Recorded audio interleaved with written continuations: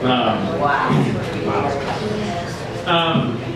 Our next reader is a uh, visual arts teacher here in town in Portland. He's also our videographer for the evening tonight.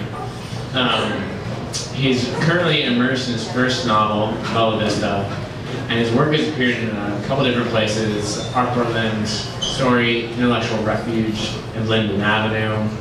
And what's said about him, and now you get to know that this is definitely compliment, is that his tongue is so burnt that Alright, sorry. His language is so ah. burnt that his tongue is ashes. Ah. Let's just say the guy has a way of fucking language blows me away. Please welcome Adam Strong.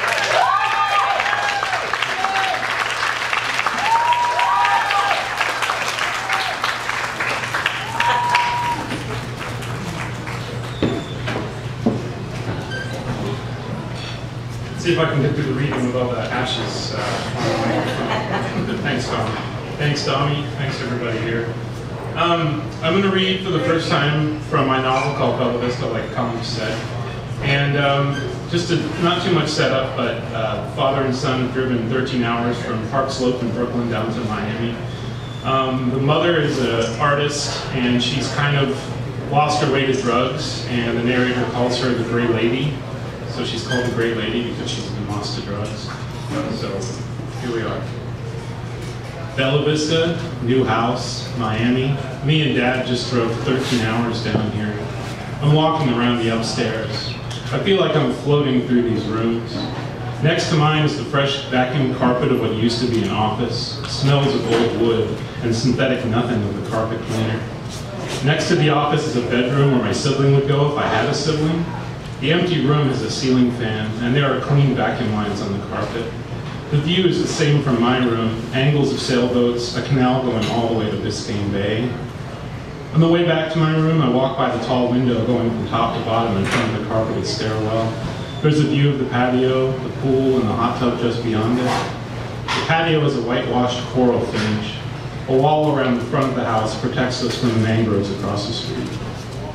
My feet on the carpeted stairwell, the window with the bubbling pool and patio furniture, a thermometer bobbing around, going underwater, rising back up again. I want to be that thermometer. I want to live half submerged. Downstairs, all that stands between me and the pool is the click in front of my door, and my feet warm on the coral of the patio. I take off my shirt and leave it on the chair. I'm down in my underwear when I dive in. The cool from the pool pushes the hot part of my brain into a small compartment inside my head. I do the thing I do when I want to go deep. I keep my mouth closed and I blow air out of my nose. I do this until I lay my back down on the scratchy bottom of the pool. The view from down here, the bends and bubbles of light dancing on the surface, is the world changing around me.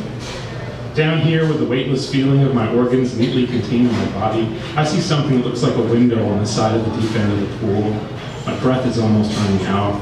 I push up and there's a burn in my lungs before I reach the surface. I open my mouth. I breathe in every molecule.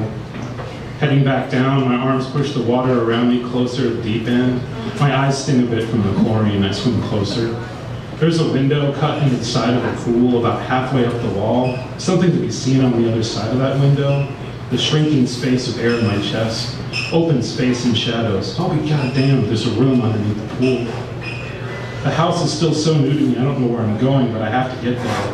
I drip water through the kitchen and down the stairwell. I wander through a few rooms. I see what could be my inn, a wall with a long cut down the front, a closet latched by a wooden handle. Mom, if you could have seen me put my weight behind that little door, if only you could have been there instead of with the gray lady. The cracks of blue light opening bigger, me in a bath of blue light in the middle of all that dark.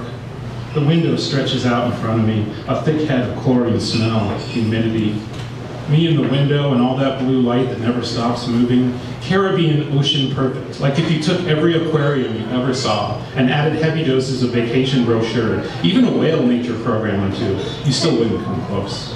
There's something holy in there. Perfect fucking postcard blue. Next to the window is the pool pump with its handles and tubes.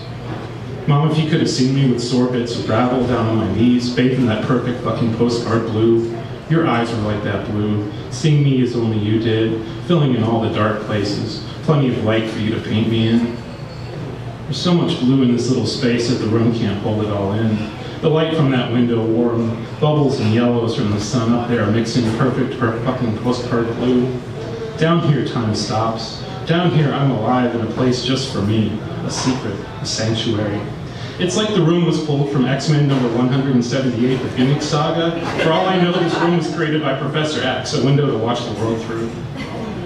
There's a deep hum sound I can feel in my chest, a hum that's probably the pool pump turning on.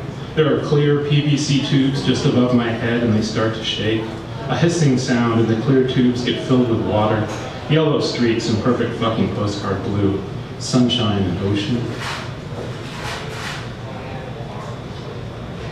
As loud as the pool pom pom is, there's something soothing about it, a breath, a sound that fills up my ears and my throat. The pool pom pom becomes a wave in my mind, bending me inside out, the same rhythm as the tides, a breath I can breathe with. With the blue in front of me, the pool pump breathing for me, and tubes of liquid sunshine beamed above me, my breath is pumped through with chlorine and light.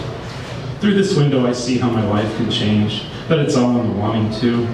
An hour ago, my face looked like it was dipped in ash, but here I am breathing in sunshine and ocean, and every second is full of the kind of being a kid wonder I thought I lost when I moved down to Miami.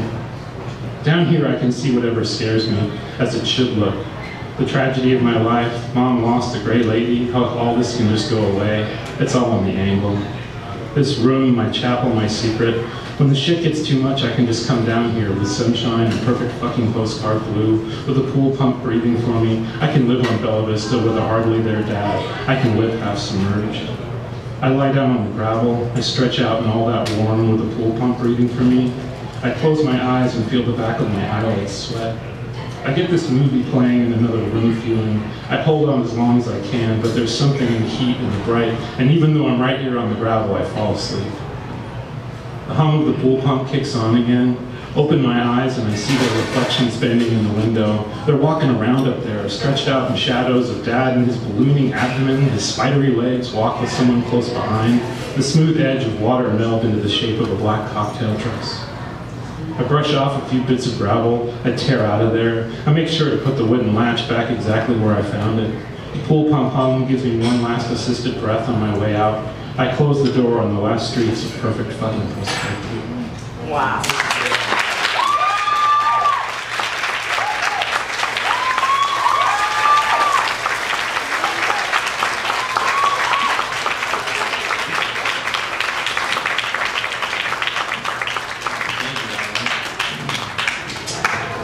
Our next reader